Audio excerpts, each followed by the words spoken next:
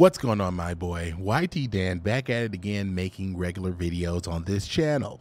Please hit the like button to help the video go through the algorithm and allow YouTube to let people know that your boy is making content on this channel. Now, today, my boy, we're going to be getting in there to talk about something pretty spicy. We're going to be getting in there with a pretty cool deck. We're going to be getting in there against the Vanquished Souls. Now, the Vanquished Souls is a really good deck. It's a hand trap deck that primarily bounces itself off the field, blows up all your opponent's cards or blows up their entire field, strong interruptions on top of all the hand traps and everything else they can play. It's a pretty good control deck. A lot of people like it. It is tier one currently in the meta right now. Um, I don't know what you other guys are doing. I guess you're getting crushed by this deck right now, but your boy's going to be getting in there today with Vaylantz. Now, listen, today we're going to be getting in there with the Vaylantz because I have been playing on ranked online with you guys through my stream, as you can see in wherever the drop down is on these streams, my boy. I've been playing and uh, been doing really good, but we do not see Vanquish Soul on the ladder at all. And I would imagine we don't see Vanquish Soul for two reasons. Number one, it's an expensive deck and a lot of people don't have it. And number two, it's a really good deck, so it's advancing. So I'm in gold and blew out gold yesterday on stream. You guys saw that. You can check out the stream on some drop down here. But uh, we're going to be getting in there against the very first and only Vanquish Soul deck that I played against, and I think that the duel was really interesting. So check it out, my boys, right now. VS versus VV. Vanquish Souls versus the Vaylantz Wars. We shall see who becomes the victor. So, special summon of the Panther. So, no normal summon burn yet. So, that's pretty disgusting. Rock of the Vanquisher, and then we get our normal summon, and I'm gonna go ahead and ash that. So we've got a normal summon to ash. I'm feeling good about it. You know, didn't you know can stop what it can stop, but hey, you know we got a normal summon target. That's pretty much how I judge using ash. If they normal summoned, have they normal summoned already? Have they played a once per turn special? Free to ash. All right, drop the Kashtira Fenrir, add the Kashtira Fenrir. Did not take my bait then I go ahead and special summon. I've used two special summons here, and basically in his mind, in his calculus, he's gonna pop the trap card to destroy all cards on the field. Now I did not know that that's what happens when you play this card. I did not know, and uh, this is the first time I come up against it, and nuke. Yeah, it was not fun. It, it was wasn't fun at all. I, I actually hated it, but we are still good because we got the pendulum summon. Now he showed us his hand, which is full of hand traps, Ash and Ghost Girl.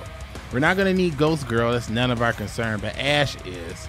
So pendulum summoning into uh, Shinonome and then popping Shinonome's effect is a really good Ash target for him as well. He picks Ash, ashes it, fine. Then we're gonna get our coin flip and win, so we get a negate on that monster, which is kind of useless because he's already used the effect, I think, twice. Um, but we've got the negate on that boy, and now we're going in Heavy Metalfoes Electrumite. Now we've already used our pendulum summon, so we do not need our spirit. We're gonna pop it and go and search for the Baton, which is gonna be key to winning here. So we're gonna use the Baton. Rise up Baton. We're gonna use Mad Marquis, rise up. We're gonna use Mad Marquis dice roll to plus up. Wonderful. But we've already used that summon this turn. So we'll have to rely on Mad Marquis effect. Dice roll. Wonderful. Summon a beast and link into the ultimate, the Nightmare Unicorn. His words, Nightmare. Now, because we received a free card from a Heavy Metalfoes Electrumite, we can discard the Book of Moon to reduce his monster to the deck. Now, link 4 to the man with victory in his hands. Access code Talker. Let's talk to him. Now, tribute fusion into the Grand Duke, and the battle has begun. Grand Duke destroys the Mad Lover. And 53 to your guts. Now listen, I couldn't finish in this turn, so now our opponent gets an opportunity to strike back. But because it's a control deck, the strike back will be weak, and it cannot overcome the power of my board. Or at least, it can only deal with one threat at a time. And the primary target, access code talker. So the Rock of the Vanquish will provide the rock.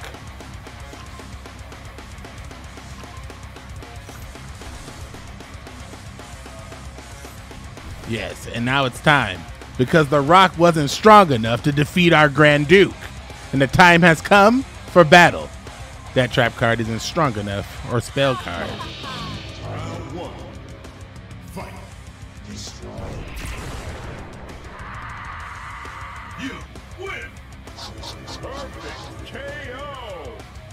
I'm just glad I had the PS5 ready so that I could defeat his versus monsters. So now the Rock of the Vanquisher's field effect is over, and we no longer have to do battle at the Rock. Now, it is our opponent's turn. And they will finish out their combination. Now I'm getting worrisome. This is our last chance at victory as well, because technically, he could wipe us out in this turn. But it looks like all he can muster is the Blackluster Soldier. Round two. Fight. Destroy. Holy!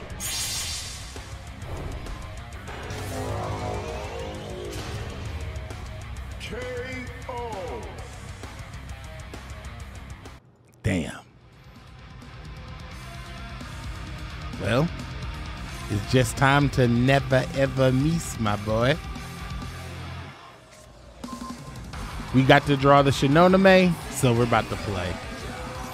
The rock isn't strong enough, my boy. Be gone.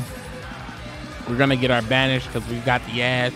We're not gonna let him get any cash, and he knows what's coming next because because we've got Shinonome, we're gonna be able to advance our play and win the entire game. And he's like, "You didn't even use Beyond the Pendulum. I'm out of here."